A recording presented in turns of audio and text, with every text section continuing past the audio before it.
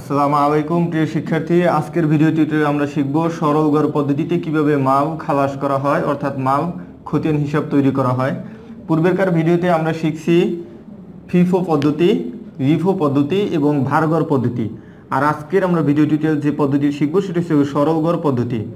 তো সরগর পদ্ধতি শেখার পূর্বে আমাদের জানতে হবে যে সরগর পদ্ধতি কীভাবে পণ্যটা এরকম খালাস করে, অর্থাৎ এই পদ্ধতিতে যদি আমরা গুদাম থেকে মাল বের করি বা খালাস করি, তাহলে কোন সূত্র অবলম্বন করতে হবে?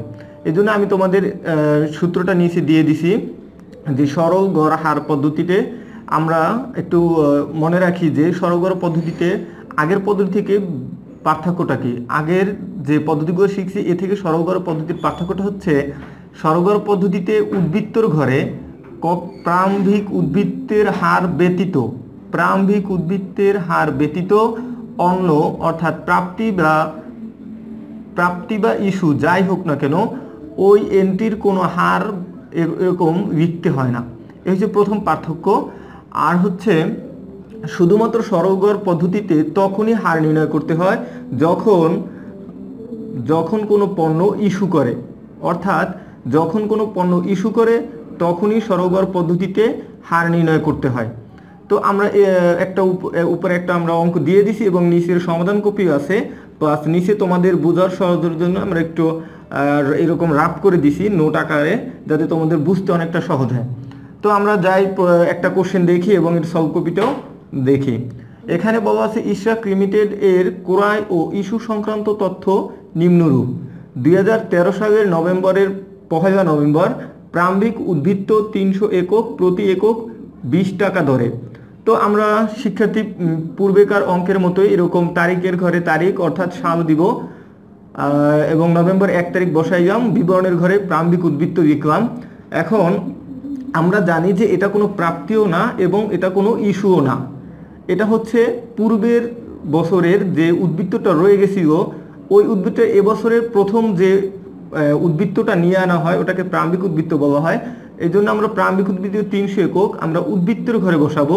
অর্থাৎ পরিমাণের ঘরে বসাইলাম তিনশো একক। এখানে যে প্রারম্ভিক উদ্বৃত্ত তিনশো একক আছে, আমরা উদ্বৃত্তের ঘরের এই প্রারম্ভিক তিনশো একক লিখলাম। এরপরে এই তিনশো এককের প্রতি এককের মূল্য ছিল বিশ টাকা। তো আমরা দেখি এখানে আমরা এই যে হারের ঘরে বিশ বিশ টাকা, অর্থাৎ প্রত্যেকটা পণ্যের মূল্য ছিল বিশ টাকা, এই বিশ টাকা বসালাম। এরপর দুইটা আমরা যদি গুণ দেই, দেখি কত টাকা হয়? ছয় হাজার টাকা হয়। তো আমরা আগেরকার অঙ্কের মতো এটা শিখলাম যে প্রারম্ভিক উদ্বৃত্ত প্রতি একক তিনশো টাকা দরে প্রতি তিনশো একক প্রতি একক বিশ টাকা দরে আমরা প্রথম লাইনে এটা বসাইলাম। অর্থাৎ নভেম্বর এক তারিখের কাজটা আমরা শেষ করলাম। এরপরে দেখি, দ্বিতীয় এন্ট্রিতে বলা হয়েছে নভেম্বরের পাঁচ তারিখ, ক্রয় বারোশো একক প্রতি একক বাইশ টাকা ধরে তো আমি আবারও বলি যে সরলগড় পদ্ধতিতে তখনই হার নির্ণয় করতে হয় যখন পণ্যটা ইস্যু হয় বা বিক্রয় করা হয়। তো এখানে পাঁচ তারিখে শুধুমাত্র ক্রয় করা হয়েছে। সুতরাং এখানে আমরা কোনো হার বের করব না। এই জন্য আর আমরা যদি পণ্য ক্রয় করলে, অর্থাৎ পণ্য যদি ক্রয় করে, তাইলে গুদামে আসে। তাই আমরা এটা কোন ঘরে দিব? গুদামে আসে, আমরা যদি এটা প্রাপ্তির ঘরে বসে। তো আমরা এখানে গ্রহণপত্র দিছি, তোমরা যদি এখানে ক্রয় দাও, তাও হবে। অনেক সময় দেখবা অনেক বইতে এখানে ক্রয় রেখে আর কিছু কিছু বইতে গ্রহণপত্র রেখে তো আমরা সাধারণত ক্রয় দিয়েই করি। তো আমরা পাঁচ তারিখ বিক্রম ক্রয় এবং পরিমাণে বিক্রম বারোশো একক এবং প্রতি এককের দাম ছিল বাইশ টাকা, এই জন্য হারের ঘরে আমরা বাইশ টাকা বসাইলাম। এখন কি করব? পরিমাণ এবং হার আমরা যদি গুণ করি, অর্থাৎ আমি একটু তোমাদের এখানে দেখাই দিই কীভাবে করবা যে পাঁচ তারিখ আছে বারোশো একক আছে বারোশো একক প্রতি একক বাইশ টাকা। সুতরাং এখন তোমরা এটার গুণ দাও, তো দেখবা পেয়ে যাবা যে ছাব্বিশ হাজার চারশো টাকা। তো আমরা কি করলাম? বারোশো গুণ বাইশ দিলাম, আমরা মূল্য পেলাম ছাব্বিশ হাজার চারশো টাকা।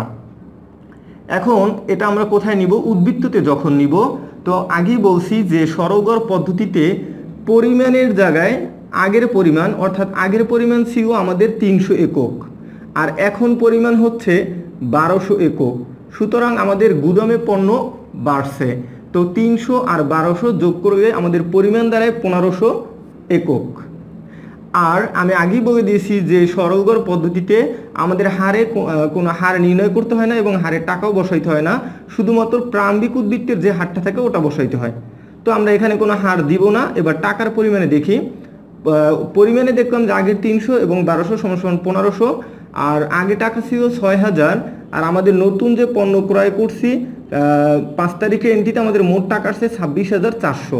তো আমরা যদি ছয় হাজার এবং ছাব্বিশ হাজার চারশো যোগ করি, তাহলে আমাদের উদ্বৃত্ত আসে বত্রিশ হাজার চারশো টাকা। তো আমরা পাঁচ তারিখে এন্ট্রিটা ওইরকম সমাধান করলাম যে পাঁচ তারিখে যেভাবে সিভ এটা করছি। এখন দেখো যে দশ তারিখ আসছে, ইস্যু এক হাজার একক। ইস্যু এক হাজার একক। তো আমি আগেই বলছি যে সরগর পদ্ধতিতে তখনই এরকম হার নির্ণয় করতে হয় যখন ইস্যু আসে। তো আমরা দশ তারিখে ইস্যু পাইলাম কত? এক হাজার একক। তো শিক্ষার্থী আমরা দেখি যে দশ তারিখে আমরা চাহিদাপত্র লিখছি আমরা এখানে ইস্যু লিখতে পারি। চাহিদাপত্রের পরিবর্তে আমরা ইস্যু বা বিক্রয় লিখতে পারি। চাহিদাপত্র এখানে আমরা চাহিদাপত্র দিয়ে করছি। তো চাহিদাপত্র বিক্রম এবং দেখো তাই এটা আমার প্রাপ্তি না, অর্থাৎ ইস্যুর ঘরে বসবে। আহ, আমরা ইস্যুর ঘরে কত একক দিব?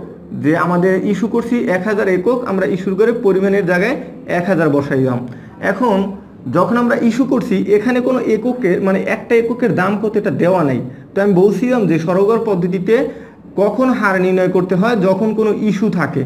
তো ইস্যু আছে আমাদের এক হাজার একক কিন্তু হারটা কোথায় কোথায় পাইলাম বা কীভাবে পাইলাম? এটাই হচ্ছে সরগর পদ্ধতির নিয়ম। তো সরকার পদ্ধতিতে আমি আবার বলি যে কখন হার নির্ণয় করতে হয়? যখন কোনো ইস্যু বা বিক্রয় হয়। তো এই একুশ কীভাবে আসো, এটা বোঝার জন্য আমরা এই সূত্রটা ফলো করব।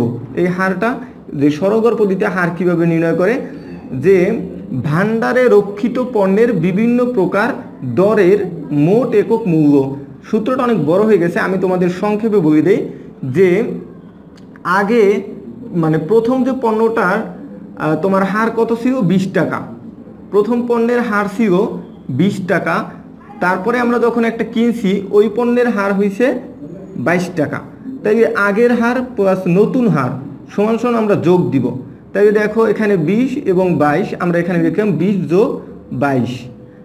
এরপরে বলা হয়েছে ক্রয় দরের সংখ্যা। কথাটা হচ্ছে আমরা কয়টা এন্ট্রির কয়টা এন্ট্রি নিয়ে আমরা করতেছি, অর্থাৎ এই একটা এন্ট্রি এবং এই একটা এন্ট্রি প্রারম্ভিক এবং ক্রয়, অর্থাৎ এক তারিখ এবং পাঁচ তারিখ, দুইটা লেনদেন নিয়ে আমরা দশ তারিখ করতেছি। তো এই জন্য আমাদের দুই বসাতে হবে, অর্থাৎ ক্রয় দরের সংখ্যা এখানে আমাদের কত? দুই। এই জন্য আমরা এখানে দুই বসাইছি। তাই বিশ এবং বাইশ আমরা যদি যোগ করি, আমাদের হবে বিয়াল্লিশ, বিয়াল্লিশের আমরা দুই দিয়ে ভাগ দিলে একুশ টাকা পাই। আমার কথাটা যদি না বুঝে থাকো, আবারও আমি তোমাদের বিস্তারিত বলতেছি। যখন সরলগড় পদ্ধতিতে তখনই হার নির্ণয় করতে হয়, আবারও শুনো সরলগড় পদ্ধতিতে তখনই হার নির্ণয় করতে হয় যখন বিক্রয় বা ইস্যু আসে। বিক্রয় বা ইস্যু আসে, তো ইস্যু আমাদের এক হাজার একক, আমরা এক হাজার একক বসাই দাম কিন্তু এখানে একুশ কীভাবে আসলো, তো আমরা এটার জন্য এই সূত্রটা ফলো করব। অর্থাৎ আগের পণ্যের দর প্লাস নতুন পণ্যের দর, এই দুইটা যোগ দিব, অর্থাৎ বিশ এবং বাইশ যোগ দিছি, আমাদের হয়েছে বিয়াল্লিশ, আর এই একটা এবং এই একটা, অর্থাৎ দুইটা লেনদেন নিয়ে আমরা করতেছি, এই জন্য আমরা এখানে দুই দিয়ে ভাগ দিয়েছি। তো গড় পেয়ে গেলাম কত? একুশ টাকা। এরপরে দেখো, তো মূল্য কত আসে? আমরা যদি এরকম এক হাজারের একুশ দিয়ে গুণ দিই, একুশ হাজার টাকা হয়। এবার আমরা দেখি উদ্বৃত্তর ঘরে কীভাবে হবে। উদ্বৃত্ত উদ্বৃত্তর ঘরে দেখো, আমাদের পূর্বিকার ছিল পনেরোশো মানে পণ্যের পরিমাণ ছিল পনেরোশোটি পণ্য। কিন্তু আমরা যখন ইস্যু করছি এক হাজার, তখন আমাদের পনেরোশো থেকে এক হাজার পণ্য চলে গেছে। তো আমাদের এখানে উদ্বৃত্ত থাকে কত? পাঁচশো পণ্য। পাঁচশো পণ্য থেকে, আর এখানে কেন আমরা হার দিব না? আগেই বলছি যে সরকার পদ্ধতি এবং পদ্ধতিতে ক্রয় হোক আর ইস্যু হোক, প্রাপ্তি হোক বা ইস্যু হোক, যেটাই হোক, আমরা এখানে হারের পরিমাণ বসাবো না। তাই আমাদের পাঁচশো একক আছে, আর বাকি পণ্য কি হয়ে গেছে? আমাদের ইস্যু করা হয়ে গেছে। তো পাঁচশো গুণ যদি আমরা এরকম একুশ দিই আমাদের এটা হবে। ক্লিয়ার এরপরে দেখি, পনেরো তারিখের এন্ট্রি দেখি যে পনেরো তারিখ হয়েছে কোরায় আষ্টশো একক, প্রতি একক এরকম চব্বিশশো টাকা চব্বিশ টাকা দরে। তো আমরা এটা আগের মতোই বসাই দিব, পনেরো তারিখ গ্রহণপত্র বিক্রম বা তোমরা এখানে কোরায় বিকতে পারো। আটশো একক, চব্বিশ টাকা দরে, আটশো গুণ চব্বিশ, আমরা যদি এরকম করি আটশো গুণ চব্বিশ দিই তাই আমরা এখানে পেয়ে যাব যে উনিশ হাজার দুইশত টাকা। উনিশ হাজার দুইশত টাকা। তো আগের আমাদের পরিমাণ ছিল পাঁচশো আর এখন নতুন গ্রহণ করছি মানে নতুন ক্রয় করছি আটশো। তাই আমাদের কত আসছে? আট পাঁচ, এরকম তেরোশোটা উদ্বৃত্তর ঘরে আসছে তেরোশো। আর হারের ঘরে কেন আমরা টাকা বসাই নেই? কারণ বলা হয়েছে যে সরগর পদ্ধতিতে ইস্যু যদি মানে গ্রহণ প্রাপ্তি হয়, অর্থাৎ ক্রয় হয়, তখন আমরা এখানে হার বসাবো না। এমনকি ইস্যুর সময়ও উদ্বৃত্তের ঘরে কোনো হার বসাবো না। তাই তেরোশো একক যদি আমরা গুণ করি তাহলে দেখবা এই তিরিশ গুণ তিরিশ হাজার ছয়শো টাকা হয়ে যাবে। এরপরে দেখো যে বিশ তারিখে বলা হয়েছে, দশ তারিখে ইস্যু, দশ তারিখের ইস্যু হতে, অর্থাৎ দশ তারিখ যে ইস্যু করছে এক হাজার একক, ওখান হতে মাল ফেরত একশো একক। অর্থাৎ আমরা দশ তারিখে যে পণ্য এরকম বিক্রয় করছিলাম, অর্থাৎ ইস্যু করেছিলাম এক হাজার পণ্য, ওটা কত টাকায় করে আমরা বিক্রি করেছিলাম দেখো, যে দশ তারিখেরটা দেখতে আমরা দেখতে পাই এখানে একুশ টাকা দরে আমরা বিক্রি করেছিলাম। এই একুশ টাকা দরে যে এক হাজার পণ্য বিক্রয় করছি, ওই জায়গা থেকে মানে ওই তারিখের ইস্যুকৃত পণ্য থেকে আমাদের পণ্য একশো পণ্য ফেরত আসছে। তো এটা আমাদের আমরা জানি যে এটা কি আমাদের বিক্রয় ফেরত। তাই আমরা এখানে মাল ফেরত দেখলাম তাই বিক্রয় ফেরত হয়ে কি হয়? আমাদের গুদামে পণ্য আসে না চলে যায় দেখো আমরা যখন বিক্রয় করি, তখন গুদাম থেকে পণ্যটা চলে যায়। যখন ফেরত হয়, তখন পণ্যটা কি? গুদামে চলে আসে। এই জন্য আমরা প্রাপ্তি পাশে দিছি। আর এখানে কেন একুশ দিছি? কারণ এখানে বলা হয়েছে দশ তারিখের যে পণ্যটা ইস্যু করছি, ওই পণ্যটা ফেরত আসছে। তাই দশ তারিখে আমরা কত পাইছিলাম?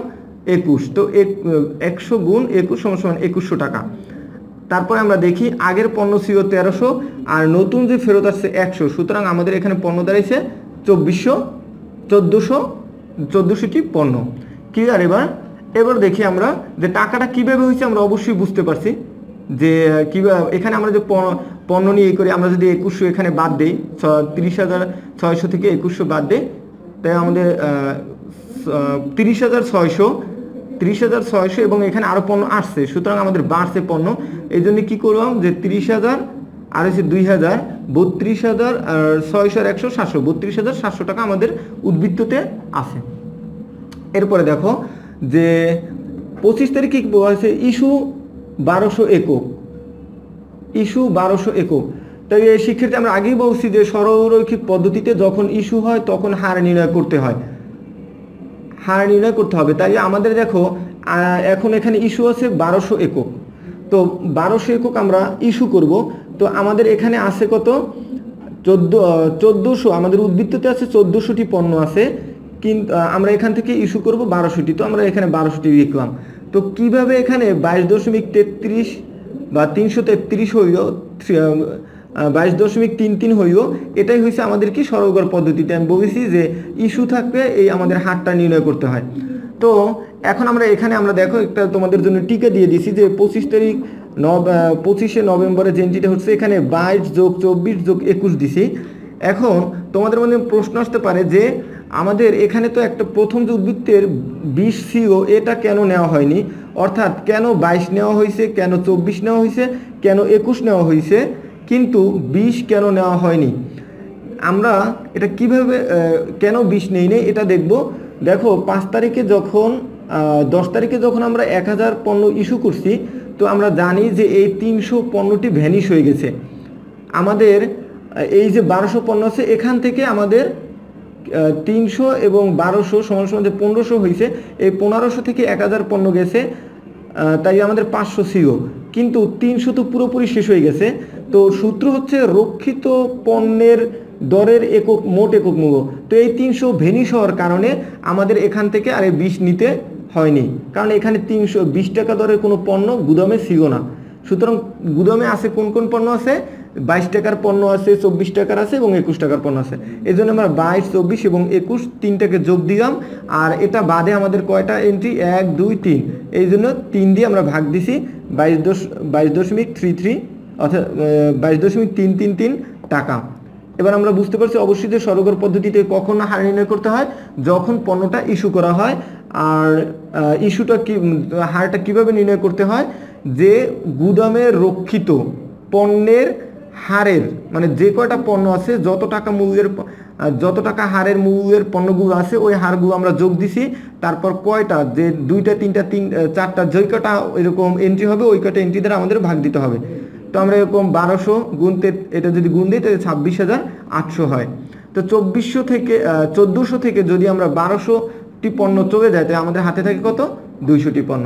এবং আমাদের যদি বত্রিশ হাজার থেকে ছাব্বিশ হাজার আটশো টাকা বাদ দেই, তাহলে আমাদের থাকে পাঁচ হাজার নয়শো টাকা। তো আমরা অবশ্যই বুঝতে পারছি। যে শিক্ষার্থী আমি অবশ্যই আশাবাদী যে তোমরা অঙ্কটা বুঝতে পারছ। তারপরে শেষ মুহূর্তে আমি তোমাদের বলে দিচ্ছি যে সরগর পদ্ধতি নির্ণয়ের সূত্র হচ্ছে যে তুমি যখন ইস্যু করবা, তখন হার নির্ণয় করবা। আর এই হারটা কীভাবে নির্ণয় করবা? যে তোমার উপরে যতটি পণ্য আছে, অর্থাৎ প্রাম্বিক সহ ক্রয়, যতটা পণ্য ক্রয় থাকবে সবগুলোর হার টাকা যোগ দিয়ে যে কয়টা পণ্যের পরে ইস্যু আসছে, ওই কয়টা ওই সংখ্যা দ্বারা তোমরা ভাগ করবা। ক্রয়ের সংখ্যা দ্বারা ভাগ করবা। তো তোমরা একটু বেশি বেশি প্র্যাকটিস করো তো অবশ্যই বুঝতে পারবা।